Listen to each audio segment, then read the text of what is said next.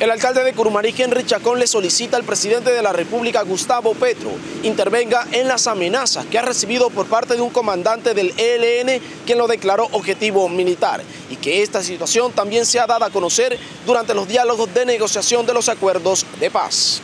El alcalde en el oficio expresó, el presente es con el propósito de informarle que como alcalde del municipio de Curumaní, recibí las amenazas de muerte de parte de alias Fercho, comandante del Ejército de Liberación Nacional ELN, quien opera por la región de nuestro municipio y los municipios de Pailitas, Pelaya, entre otros. El comandante alias Fercho del ELN supuestamente dio la orden de asesinarme por no acceder a sus pretensiones para hacerme supuestamente un juicio, ya que le informaron de que yo soy financiador de las autodefensas y asesino de líderes sociales. Así se lo manifestó a Pedronel Incapié Hernández, quien fue secuestrado el día 6 de agosto del presente año y liberado el día 13 de agosto del mismo año. Pero además, también se lo dijo personalmente a una persona muy cercana que fue citado para pagar una extorsión. La persona que fue a negociar le dijo a Fercho que sí, yo era paramilitar y asesino de líderes sociales porque el pueblo de Curumaní me habían elegido en tres periodos distintos para ejercer el cargo de alcalde. Además, según lo manifestado por la persona secuestrada, el comandante Carlos Acosta manifestó que él era de Curumaní y nunca había escuchado de la gente del pueblo de que yo hubiese apoyado a paramilitares y menos asesinar líderes sociales. El jueves 10 de noviembre del presente año, en una reunión en la ciudad de Bogotá, un amigo me dijo personalmente que me cuidara mucho, que él tenía conocimiento que alias Fercho había dado la orden de asesinarme. Pero además de esto, el día 13 de noviembre del presente año, me llamó alguien que trabaja en la administración municipal conmigo y me dijo que alguien le dijo que a él le tenían la orden de asesinarme por parte del ELN.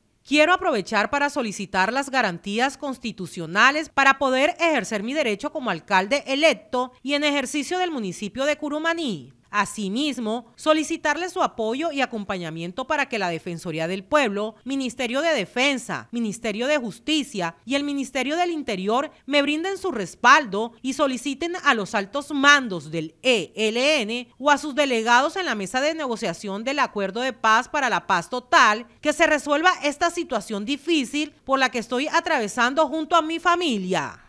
Cabe anotar que el mandatario meses anteriores denunció ante este medio de comunicación persecución política y amenazas de una estructura criminal diferente a la que hoy lo azota. O yo no sé qué está pasando, pero aquí hay un trasfondo grande que es lo que me angustia y me preocupa, porque llevo 10 años de mi vida, yo llevo 52 años de vida, que nací en medio de conflicto armado, porque soy nacido en Curmaní, con mucho orgullo, mucha honra, y siempre nos ha tildado o de guerrillero de paramilitares. Yo presté el servicio militar en el año 88 y un día dijo el coronel del ejército en la plaza de armas del, batallón de PM13 en Bogotá, según inteligencia militar hay tres guerrilleros infiltrados en la compañía Caldas. La compañía Caldas, tres guerrilleros, éramos los tres pelados de Curumaní que, estamos, que habíamos terminado el bachillerato y estábamos prestando servicio militar. Siempre nos ha tildado de lo uno de lo otro. Desafortunadamente pagamos todos un pueblo por las situaciones y abandono del Estado pagamos la, justicia, la injusticia nosotros. Entonces yo creo que aquí lo que veo es esa mala inteligencia, esa falta de capacidad de investigar, que hoy resalto que los periodistas tienen más capacidad de demostrar la verdad en actos como estos y, casos como el caso mío, porque lo que uno ve en los programas de los informantes, Séptimo Día y otros, otros programas informativos e investigativos de los medios, los periodistas están sacando a la luz pública muchos casos. Y ojalá Dios permita esto también salga a la luz pública para que se cierre este capítulo amargo de mi vida y de la vida de mi familia. Sin ser condenado y bajo la presunción de inocencia, Henry Chacón ganó la alcaldía de Curumaní por tercera vez. Se posesionó para el periodo 2020-2023, pero con el caso abierto. Fue detenido, puesto a órdenes de la justicia y enviado a prisión en fallo de primera instancia. No obstante, en una decisión de segunda instancia, el juzgado segundo penal le otorgó la libertad tras el recurso del habeas corpus contenido en el artículo 30 de la Constitución Nacional y reglamentado en el Código de Procedimiento Penal que tutela la libertad de las personas cuando son capturadas con violación a las garantías constitucionales o legales o se prolongue ilegalmente la privación de la libertad. Cada vez que me lanzo a la alcaldía, me salen los procesos. Cada vez que, si Henry no, tiene, no es candidato y no tengo, nadie me molesta la vida, ni nadie me persigue, ni nadie me captura. Pero el hecho de ser alcalde automáticamente me salen capturas por todos lados.